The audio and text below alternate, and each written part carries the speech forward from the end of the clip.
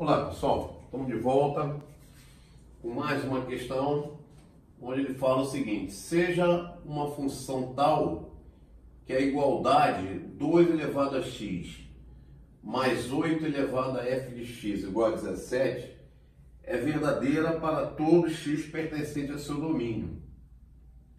O valor de f de zero é.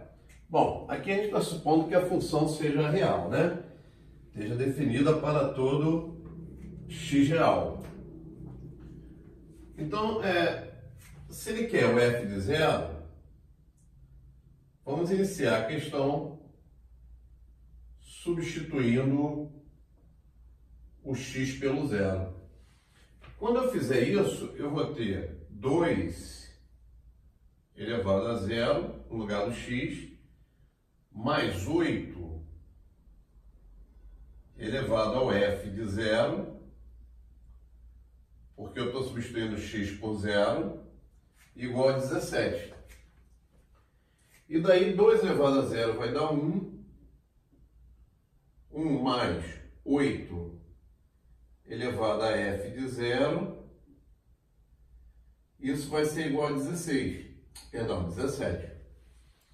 Passando 1 para esse lado, nós tiramos que 8f de zero é igual a 17 menos 1, 16.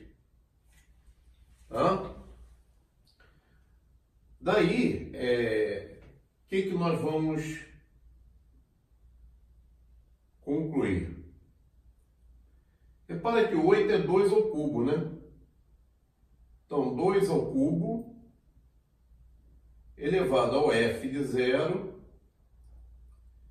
é igual a 16, que é 2 a quarta decompondo em fatores primos. Logo, nós conseguimos 2 elevado a 3f de zero igual a 2 a quarta. Duas potências iguais, bases iguais, expoentes iguais. Então, 3f de zero vale 4.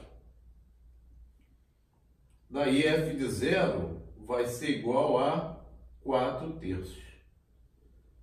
Hã? Então a opção correta é a letra E. Tá? Ok, gente, um abraço, deixa lá seus comentários, até a próxima.